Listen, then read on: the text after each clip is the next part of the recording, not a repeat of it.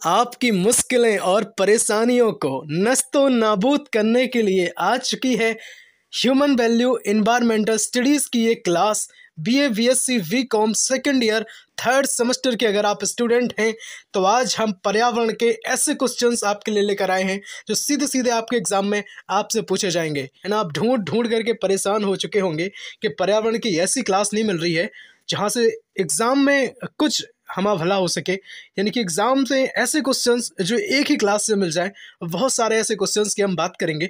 अगर आप B A B S C B com second year third semester के student हैं तो बिल्कुल कोई बच्चा परेशान नहीं होगा। आज की जो क्लास है, सिर्फ़ आपके एग्ज़ाम पॉइंट ऑफ़ व्यू को ध्यान में रख करके डिज़ाइन करी है हमने। केवल पेपर में आने वाले वी आई इम्पोर्टेंट प्रश्नों का संग्रह इस वीडियो में रहेगा। पर्यावरण का बाप हम इस वीडियो को कहेंगे, क्योंकि इस वीडियो से ऐसी चीज़ें आपको मिलेंगी जो आपके एग्ज़ाम को तोड़ने में मजबूती आपको प्रदान करेंगी। तो चलिए स्टार्ट करते हैं। तो नमस्कार, जय हिंद, वंदे मातरम। स्वागत है आप सभी का आपके अपने channel B S C M with Shivam में। और मैं शिवम दुबे आपका बहुत बहुत स्वागत करता हूँ। कॉपी पेन उठा लें, लिखना स्टार्ट कर दें, क्योंकि लिखना बेहद ज़रूरी है। आपका जो एग्ज़ाम है, वो आपका ओ एम आर पर होगा ये। ठीक है? माइनर पेपर है आपका, इसमें पास आपको होना होता है, लेकिन आप इसमें पास नहीं होंगे, सीधा टॉप कर जाएँगे। क्योंकि वो सारे क्वेश्चन इस वीडियो में आपको मिल जाएँगे, जो एक आपके इस B A B S C B com के लिए तो इम्पोर्टेंट रहेंगे ही साथ ही में आप अगर किसी कंपटीशन एग्ज़ाम की तैयारी भी करते हैं तो वहाँ से भी आपका हो जाएगा, ठीक है? बहुत शानदार और चुनिंदा सिलेक्टेड क्वेश्चन हम इन इन क्वेश्चन को हम कहेंगे, है ना? शानदार डिटेल्स के साथ चीज़ें पढ़ेंगे, ठीक है? बहुत अच्छे तरीके से। चलिए स्टार्ट करते हैं। क्वेश्चन नंबर वन रहेगा, तेरासी ना समझ लेना इसे। किसके नेतृत्व में चिपको आंदोलन को बल मिला? बताओ भाई। चिपको आंदोलन की अगर बात करें तो किसके नेतृत्व में जो है वो बल मिला? आपको बताना है भाई। चलिए। ऑप्शन रहेंगे आपके सुंदरलाल बहुगड़ा अमृता देवी बिश्नोई मेधा पाटेकर, या फिर ए के बनर्जी। जी बिल्कुल, अगर हम बात करें इस क्वेश्चन के राइट आंसर की तो हो जाएगा नंबर वन सुंदरलाल बहुगुड़ा साहब। बिल्कुल, चिपको आंदोलन जो है, सुंदरलाल बहुगुड़ा साहब द्वारा इस आंदोलन को बल मिला है। और साथ ही हम बताएँ, ये उत्तराखंड से संबंधित है, और जब पेड़ों को काटने के लिए, है ना, ठेकेदार वगैरह आते थे तो यहाँ की जो महिलाएँ थी, वो पेड़ों से चिपक जाती थी। हालाँकि महिलाएँ ही नहीं, पुरुष वर्ग या बच्चे सब थे, वो पेड़ों से चिपक जाते थे, वो कहते थे कि पेड़ों को ना काटो, है ना? तो पेड़ों को काटने के, को पेड़ों को काटने से बचाने के लिए इस आंदोलन का जो है, इस आंदोलन की शुरुआत करी गई थी, है ना? चिपको आंदोलन एक पर्यावरण रक्षा का आंदोलन है। यह भारत के उत्तराखंड राज्यों में किसानों ने वृक्षों की कटाई का विरोध करने के लिए, है ना? ये चलाया गया था। आंदोलन में स्त्रियाँ भारी संख्या में थी और इस आंदोलन में सुंदरलाल बहुगुड़ा को बल मिला था। हालाँकि इस इस आंदोलन के बाद जो है सरकार ने पंद्रह साल के लिए वनों की कटाई पर रोक भी लगाई थी। ठीक है, चलो अब परीक्षा की दृष्टि से कुछ जो चीज़ें हैं, केवल ऐसा नहीं है कि चिपको आंदोलन से ही क्वेश्चन आएगा। आपसे और भी चीज़ें पूछ सकते हैं और उनके प्रणेता पूछ सकते हैं। आप बता दो कि भारत में पारिस्थितिकी तंत्र के जनक कौन है? तो आप बता देना भाई, प्रोफेसर रामदेव मिश्रा जी जो हैं, वो भारत में पारिस्थितिकी तंत्र के जनक हैं। ठीक है, चलिए। हरित क्रांति के जन्मदाता बता दो। तो भाई डॉक्टर नॉर्मन ऑर्नेस्ट वॉलॉक साहब जो हैं, वो क्या हैं? हरित क्रांति के जन्मदाता हैं। चिपको आंदोलन के प्रणेता, अभी बताया था, सुंदरलाल बहुगुड़ा ठीक है? चलिए, सब कुछ पढ़ेंगे। देखो, परेशान नहीं होगा कोई भी बच्चा। अब जहाँ से आपके दिवस पूछे जाते हैं कि जल दिवस कब मनाते हैं, पृथ्वी दिवस कब मनाते हैं, सब कुछ पढ़ेंगे। ठीक है? आपसे पूछ सकते हैं कि ये बंजीब अभ्यारण कहाँ है है ना? सब कुछ। बिल्कुल, आप तो देखते रहो वीडियो को बहुत अच्छे से। भारत का जल पुरुष किसे कहते हैं? तो डॉक्टर राजेंद्र सिंह को कहते हैं। लेकिन अपनी कॉपी में लिखते हुए चलना और माइंड में सेट करते हुए चलना, ऐसा नहीं करना है आपको कि आप सोचे कि चलो ये तो पासिंग है तो फिर कर लेंगे। नहीं, बिल्कुल नहीं। आप अभी क्लियर करते चलें। चलिए। आगे बढ़ते हैं सी। और भारत का जल पुरुष की हम बात करें तो डॉक्टर राजेंद्र सिंह साहब थे। और भारत के अगर वर्ल्ड मैन की हम बात करें तो सलीम अलीम, सलीम अली साहब हैं। भारत में अगर हरित क्रांति के जनक कौन है तो एम एस स्वामीनाथन साहब कहे जाते हैं। वो लोग आपने पढ़ ही लिया है ऊपर, नॉर्मल नस्ट बॉल लोग। ये हरित क्रांति के जन्मदाता विश्व में है। और भारत की बात करें तो एम एस स्वामीनाथन है। ठीक है?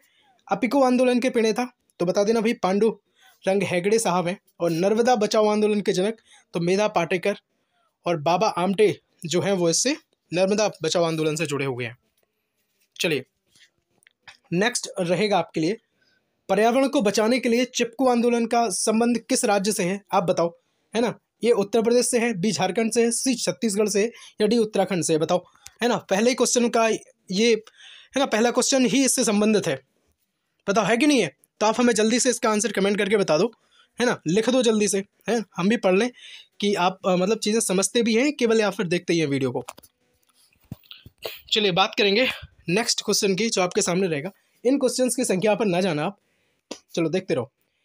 भारत में प्रोजेक्ट टाइगर की शुरुआत कब करी गई? उन्नीस सौ तिहत्तर, उन्नीस सौ बयासी या उन्नीस सौ बानवे या उन्नीस सौ छियानवे? है ना? तो बाघों की जो संख्या, घटती संख्या को रोकने के लिए या और बाघों के संरक्षण के लिए भारत सरकार द्वारा एक अप्रैल उन्नीस सौ तिहत्तर तो समझ गए होंगे इसका आंसर क्या है? ये है उन्नीस एक अप्रैल उन्नीस सौ तिहत्तर को प्रोजेक्ट टाइगर की शुरुआत की गई थी और इस प्रोजेक्ट की शुरुआत जो है वो Jim Corbett national park Uttarakhand से की गई थी। इस बात को भी आप अपने है ना माइंड में सेट करते हुए चलेंगे। चलिए। नेक्स्ट क्वेश्चन की हम बात करेंगे। जीव जंतु संबंधित कुछ जो प्रोजेक्ट परियोजनाएँ हैं, है ना, जैसे अभी आपसे हमने पूछा तो ये उन्नीस सौ तिहत्तर है, पर और जो सारी हैं जहाँ से एग्ज़ाम में क्वेश्चन आ सकते हैं चांसेस रहेंगे। तो वो देख लो। प्रोजेक्ट शेर या प्रोजेक्ट टाइगर की हम बात कर रहे थे तो अभी आपने उन्नीस सौ तिहत्तर पढ़ा, इसमें रहेगा उन्नीस सौ बहत्तर प्रोजेक्ट शेर के लिए, सिंह। प्रोजेक्ट टाइगर आप आप अभी देख चुके हैं, उन्नीस सौ तिहत्तर है। है ना? और बात करेंगे प्रोजेक्ट एलगेटर घड़ियाल की बात होगी तो उन्नीस सौ पचहत्तर में आएगी, आई थी ये परियोजना। प्रोजेक्ट गेंडा, हिम तेंदुआ तो ये उन्नीस सौ सतासी में इनके संरक्षण के लिए चलाई गई थी। प्रोजेक्ट गत में हाथी की बात करें तो उन्नीस सौ बानवे और प्रोजेक्ट रेड पांडा, लाल पांडा की बात होती है तो उन्नीस सौ छियानबे बताओ, आई समझ में कि नहीं? है ना? चलिए, और अपनी यूनिवर्सिटी का नाम ज़रूर कमेंट में लिख दो, है ना? B S C M Shivam हर तबके के गरीब से गरीब बच्चों को पढ़ाने का हुनर रखता है। और चैनल भी इसी, इसीलिए बनाया गया था कि जो फ़ीस है, बहुत ज़्यादा पेड करते हैं हमारे गरीब बच्चे। है ना? तो उनके लिए बिल्कुल फ्री और गुणवत्तापूर्ण शिक्षा देने का जो काम B S C M S study study platform के माध्यम से किया जा रहा है। जब तक सांस है है ना दोस्तों? तब तक करता रहूँगा। एट्टी टू, नेक्स्ट क्वेश्चन रहेगा आपके सामने। एट्टी टू नहीं है। किस जगह के फ्लोरा और फना सूचित करता है? तो ए रहेगा आपका पेड़ पौधे एवं जंतुओं को। बी रहेगा आपका मछलियों एवं पेड़ पौधों को। और सी की बात करेंगे तो जंतु एवं मछलियों को। और डी की बात करेंगे मछली, पक्षियों एवं पेड़ पौधों को। तो इसके राइट आंसर की अगर बात करें तो हो जाएगा ऑप्शन नंबर ए पेड़ पौधे एवं जंतुओं को जो है फ्लोरा और फना सूचित करता है। बिल्कुल बहुत अच्छे से अपनी कॉपी में लिख लें, समझ जाएँ चीज़ों को। देखो डिटेल समझ लो इसकी। किसी जगह के फ्लोरा और फना पेड़ पौधे एवं जंतुओं की उपस्थिति को सूचित करता है। फ्लोरा किसी भौगोलिक क्षेत्र में पाई जाने वाली विशेष वनस्पति के समूह होती हैं, जबकि फना जो है किसी भौगोलिक क्षेत्र में पाई जाने वाली जंतुओं का समूह होता है। ठीक है, वनस्पति का और ये जंतुओं का समूह होता है, इतनी बात भी अपने माइंड में सेट कर लो। चलो, अब क्वेश्चन कहाँ से बनेगा? यहाँ से भी बनेगा क्वेश्चन देखो पर्यावरणीय पुस्तकें आपसे पूछ सकते हैं कि भाई बता दो, ये जो है वो किताब किसने लिखी है, किसकी किताब है? तो biodiversity potential of the Himalaya ये बुक किसकी है? तो डॉक्टर ललित तिवारी जी की है इसपाल सिंह पांगती व डॉक्टर गीता तिवारी इन तीनों लोगों ने मिलकर ये जो बुक है, उसको, है ना, अंजाम दिया है, उसको लिखा है। नेक्स्ट बुक की बात करें हिमालयन बंडरलैंड तो ये है एम एस गिल साहब की, स्पर्श गंगा जो है वो रमेश पोखरियाल पोखरियाल निशंक साहब की जो है। आप बताओ, रमेश पोखरियाल निशंक साहब कौन थे? या वर्तमान में कौन है? कमेंट करके चलो बता दो। ठीक है? चलो। अगर अच्छा लग रहा हो ना तो बिल्कुल लाइक करते ज़रूर चलना। और अगर हमसे जुड़ना चाहते हैं, है ना, बहुत सारी क्लासेस हम आपको देते हैं, चाहे टूर गाइड की बात करें, मल्टीमीडिया की बात करें। अगर आप आपने हमसे फ़र्स्ट सेमेस्टर में पढ़ा है तो हमने आपको मैराथन क्लास उपलब्ध करवाई थी, है ना? जिसमें आपको जैसे सेकेंड सेमेस्टर में आपके जो एग्ज़ाम हुए थे तो उस एग्ज़ाम में आपको, है ना पैंतीस क्वेश्चन में से अट्ठाईस, उनतीस क्वेश्चन अपनी मैराथन क्लास से मिल गए थे और ज़्यादा क्वेश्चन भी हमने नहीं करवाए थे। ठीक है? चलिए तो बिल्कुल आप जुड़ सकते हैं हमसे। पर्यावरणीय दिवस आपके एग्ज़ाम में बहुत पूछे जाते हैं। आपसे पूछ सकते हैं, बताओ, विश्व आर्द्र भूमि संरक्षण दिवस कब मनाया जाता है? तो बता देना भैया, दो फरवरी को मनाया जाता है। विश्व बानकी दिवस पूछ ले तो कह देना इक्कीस मार्च। है ना? विश्व जल दिवस आपसे पूछ ले तो कह देना बाईस मार्च। अंतर्राष्ट्रीय पृथ्वी दिवस तो कह देना बाईस अप्रैल। विश्व पर्यावरण दिवस, ये भी आपसे पूछ सकते हैं तो पाँच जून आप याद रखेंगे। विश्व भूगर्भ जल दिवस तो दस जून। ठीक है? चलिए, बहुत सारे लोग ट्रिक बताते हैं। भाई ठीक है, ट्रिक ट्रिक से आप याद रख सक रख सकते हैं, पर मैं ना हमेशा ट्रिक के खिलाफ ही रहता हूँ, क्योंकि ट्रिक जो ट्रिक जो होती है, वो भूल जाते हैं। चलिए, बात करेंगे नेक्स्ट। मरुस्थलीकरण एवं अनावृष्टि से सतत जंग को अर्पित व्रत दिवस यह है सत्रह जून को मनाया जाता है है ना? अपनी कॉपी में लिख लें सारी चीज़ों को। चलिए, राजीव गांधी अक्षय ऊर्जा दिवस कब मनाया जाता है? तो बीस अगस्त को मनाया जाता है। अंतर्राष्ट्रीय ओजोन परत संरक्षण दिवस कब मनाया जाता है? तो सोलह सितंबर को। विश्व पशु दिवस कब मनाते हैं? तो तीस अक्टूबर को। और अंतर्राष्ट्रीय आपदा न्यूनीकरण दिवस तो फोर्टीन अक्टूबर। राष्ट्रीय पक्षी दिवस, बारह नवंबर, है ना? और विश्व शौचालय दिवस तो कहना उन्नीस नवंबर। हो सकता है वीडियो आपको फास्ट लग रही हो, रोक रोक करके चीज़ों को लिख लें अपनी कॉपी में। ठीक है? चलो। विश्व पर्यावरण संरक्षण दिवस कब मनाते हैं? तो 25 नवंबर को मनाते हैं। अंतर्राष्ट्रीय पर्वत दिवस तो 11 दिसंबर को मनाते हैं। है ना? और राष्ट्रीय ऊर्जा संरक्षण दिवस या विश्व ऊर्जा दिवस कब मनाते हैं? तो कह देना फोर्टीन दिसंबर को मनाते हैं। चलो, आपने देख ली सारी चीज़ें। अब मुझे बताने दो कि इम्पोर्टेंट कौन है। अब देख लो सबसे पहले। जो जो इम्पोर्टेंट है। ये ये ये, और ये ये ये ये सारे के सारे तो आप बिल्कुल भूलना ही नहीं है आपको, ठीक है? बाकी और जो इम्पोर्टेंट है, वो भी मैं आपको बता देता हूँ। एक ये ये ये ये, वैसे लिखे तो मैंने सारे इम्पोर्टेंट ही हैं। केवल आप इसको और इसको छोड़ सकते हैं, वैसे छोड़ना नहीं है। दो हैं, बीस अगस्त, राजीव गांधी अक्षय ऊर्जा दिवस और मरुस्थली अनावृष्टि तो ये सत्रह जून। बाकी आप याद रख रख सकते हैं सारी चीज़ों को। चलिए, अब आपसे पूछ सकते हैं कि भारत के जो राष्ट्रीय उद्यान हैं, वो कौन कौन से हैं और कहाँ हैं? अंसी राष्ट्रीय उद्यान। ये कहाँ है तो कह देना भाई कर्नाटक में है। बिल्कुल, बहुत अच्छे से अपने दिमाग में चीज़ों को सेट करते हुए चलेंगे आप। बलफ कराम ये कहाँ है राष्ट्रीय उद्यान तो कहना मेघालय में है। बांधवगढ़ राष्ट्रीय उद्यान कहाँ है तो कहना मध्य प्रदेश में है। बांदीपुर राष्ट्रीय उद्यान आपसे पूछ सकते तो कहना कर्नाटक में है। बन्नेर घाट राष्ट्रीय उद्यान आपसे पूछ रहे तो कह देना कर्नाटक में है। ठीक है? चलिए, बंसदा राष्ट्रीय उद्यान आपसे पूछ सकते हैं। कि बंसदा राष्ट्रीय उद्यान कहाँ है? तो कह देना गुजरात में है। बेतला राष्ट्रीय उद्यान आपसे पूछे तो कह देना झारखंड में है। ब्लैक बक राष्ट्रीय उद्यान, या इसे बेलबादर भी बोलते हैं तो ये कहाँ है? तो कह देना गुजरात में है। ठीक है? सारे के सारे इंपॉर्टेंट हैं। ऐसा ना समझ लेना कि केवल यही इंपॉर्टेंट है। और अगर आप किसी कंपटीशन एग्ज़ाम की तैयारी करते हैं तो उसके लिए भी महत्वपूर्ण रहेंगे। सारे। और अगर आप पीडीएफ वगैरह चाहते हैं तो आप हमारे टेलीग्राम चैनल को, है ना सब्सक्राइब कर सकते हैं। ज्वाइन कर सकते हैं टेलीग्राम चैनल और लिंक टेलीग्राम चैनल की हम डिस्क्रिप्शन बॉक्स में शेयर कर देंगे आपके साथ, ठीक है? तो आप क्लिक करके सीधा वहीं पहुँच सकते हैं। टेलीग्राम डाउनलोड ना हो तो टेलीग्राम डाउनलोड भी कर लें पहले, इसके बाद आप वहाँ पर ज्वाइन कर सकते हैं। चलो बुक्सा राष्ट्रीय उद्यान की बात करेंगे तो पश्चिम बंगाल। चलिए, बिल्कुल इम्पोर्टेंट ही हमने आपके लिए रखे हैं। कुछ ऐसे नहीं है जो बिल्कुल यहाँ वहाँ के हों। जो इम्पोर्टेंट है, महत्वपूर्ण है, केवल वही रहेंगे।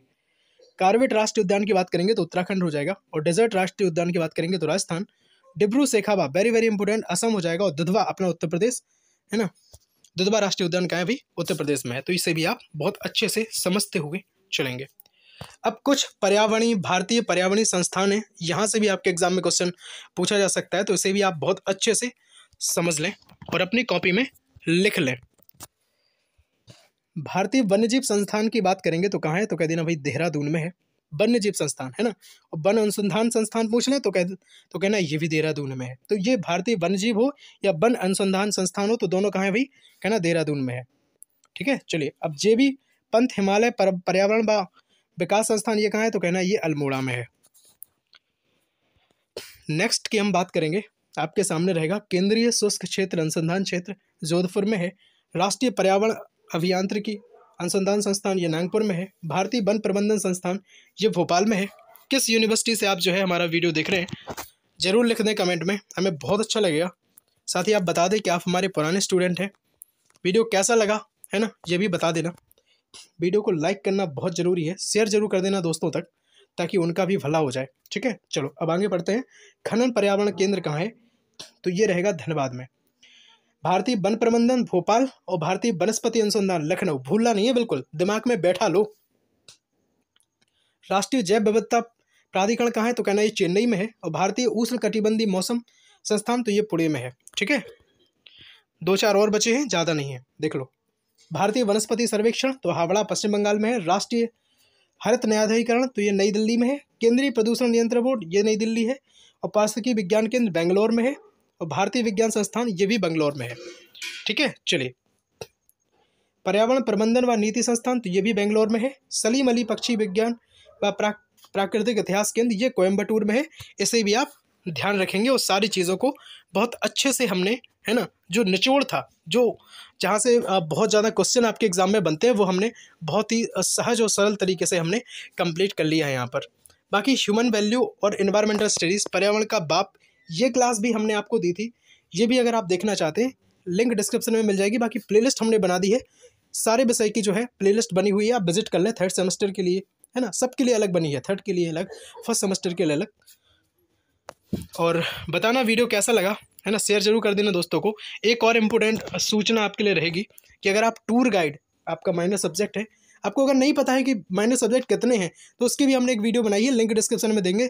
आप देख लेना कौन कौन से जो है माइनर सब्जेक्ट आपको थर्ड सेमेस्टर में लेने हैं। बाकी टूर गाइड आपका ये है, अगर आप ये सिलेक्ट करते हैं तो इसकी भी क्लासेस हम आपको देते हैं। लास्ट में मैराथन भी उपलब्ध करवाएँगे। तो कोई भी बच्चा परेशान नहीं होगा, है ना? ऐसा नहीं कि आपका साथ छोड़ देंगे, साथ बिल्कुल नहीं छोड़ेंगे, है अंत अंत तक आपका साथ देंगे। B S C M Shivam study platform है ही आपके लिए, आपके सपोर्ट के लिए, आपको ही, आपको कुछ बनाने के लिए, आपका जो मुकाम है जिसे आप हासिल करना चाहते हैं, कहीं ना कहीं आपके माता पिता आपकी जो राह देख रहे हैं तो उनके लिए ये जो है प्लेटफॉर्म बनाया गया था। मल्टीमीडिया की अगर बात करें तो ये जो क्लास है, ये भी आपके एग्ज़ाम पॉइंट ऑफ़ व्यू को ही ध्यान में रख करके डिज़ाइन हमने करी थी। ये भी आपका माइनर सब्जेक्ट है, आप देख लेना इसे भी। डिजिटल मार्केटिंग, ये भी आपका माइनर है, इसे भी देख लें। बाकी आ, हम यही कह रहे थे कि आपने अगर आपको नहीं पता है कि B B S C B com second year third semester में कौन कौन से माइनर लेने हैं? Minor one minor two minor three कौन कौन रहेगा? तो हमने ये वीडियो बनाया है आप ज़रूर देख लें। बाकी मल्टीमीडिया की भी हमने सिलेबस की जानकारी भी दी है टूर गाइड की भी सिलेबस की जानकारी दी है है ना? टेलीग्राम चैनल से आप जुड़ जाएँ वहाँ से हम जो है आपको पीडीएफ वगैरह प्रोवाइड कराते रहते हैं क्लासेस संबंधी सूचना भी डालते हैं है ना? बहुत सारी अच्छी बातें भी मोटिवेशन सारी सब कुछ हम वहाँ पे आपको शेयर करते हैं। ठीक है? और बाकी मोटिवेशन कोई मोटिवेशन नहीं होता यार मैं तो यही कहूँगा है ना? आप अगर आपको लगता है कभी भी आप लूज़ होने लगें या कभी आपको लगने लगे कि भाई पढ़ाई में मन नहीं लग रहा तो एक बार अपने पिता की तरफ़ देख लो एक बार अपने माता जी की तरफ़ देख लीजिए है ना? सारी चीज़ें जो है वो आपके सामने हो जाएँगी। संपूर्ण राज, राजनीति विज्ञान की अगर हम बात करें तो एकमात्र वीडियो में ऐसे क्वेश्चन का समावेश हम आपके लिए लेकर आए थे जहाँ से बिल्कुल सीधे सीधे सटीक क्वेश्चन आपके एग्ज़ाम में आप वहाँ पे बनेंगे है ना? और आप आप, आप अगर B A second year third semester के छात्र हैं आप ऐसे ही वीडियो देखना चाहते हैं तो आप हमें कमेंट में बताओ कि आप एक वीडियो में ऐसे क्वेश्चंस केवल इंपॉर्टेंट प्रश्न आप चाहते हैं तो हम उस विषय के भी इंपॉर्टेंट प्रश्न बना देंगे ठीक है? चलिए मिलते हैं इसी के साथ नेक्स्ट वीडियो में तब तक के लिए जय हिंद बंदे मातरम भारत माता की जय। शेयर कर दो क्लास को अगर अभी तक अगर आपने लाइक नहीं किया है तो बिल्कुल लाइक ज़रूर कर दो है ना? प्यारा सा कमेंट लिख दो आपको वीडियो कैसी लगी? और मिलते हैं नेक्स्ट वीडियो में तब तक के लिए जय हिंद वंदे मातरम भारत माता की जय।